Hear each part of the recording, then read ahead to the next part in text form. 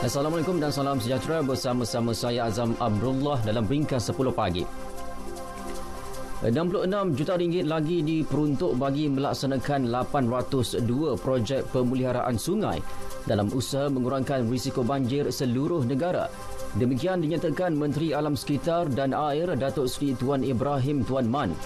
Katanya tambahan kepada peruntukan sedia ada itu diluluskan unit perancang ekonomi di bawah Rolling Plan 4 RP4 projek berkenaan dijangka siap pada hujung tahun ini dan bakal memberi manfaat kepada kira-kira 500 ribu penduduk. Perintah kawalan pergerakan diperketatkan PKPD secara pentadbiran di zon Melur, Aman Jaya, Kedah ditamatkan semalam. Perkara itu dimaklumkan Menteri Kanan Keselamatan Datuk Seri Ismail Sabri Yaakob dalam satu kenyataan. Menurutnya, penamatan tersebut dibuat selepas tiada pertambahan kes baru COVID-19 dicatat untuk tempoh 13 hari. Seorang operator pengeluaran kilang kerugian RM195,580 akibat diperdaya sindiket Macau Scam yang menyamar sebagai wakil pos laju Malaysia sejak Ogos lepas.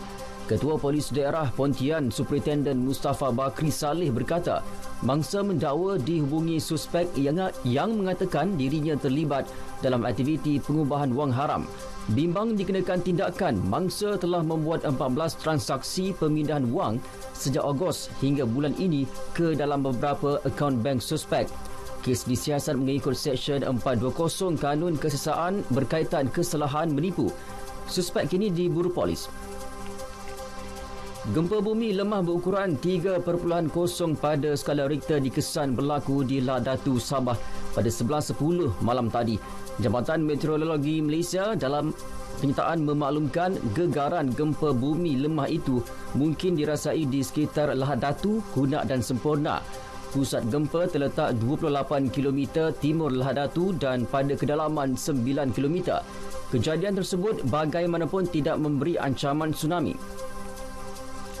Seorang penjaga zoo wanita parah selepas diserang seekor gorila di Madrid, Spanyol.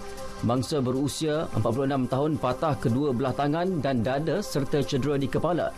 Menurut kenyataan zoo berkenaan, kejadian berlaku ketika wanita terbabit sedang bertugas membersihkan kandang dan memberi makan gorila tersebut.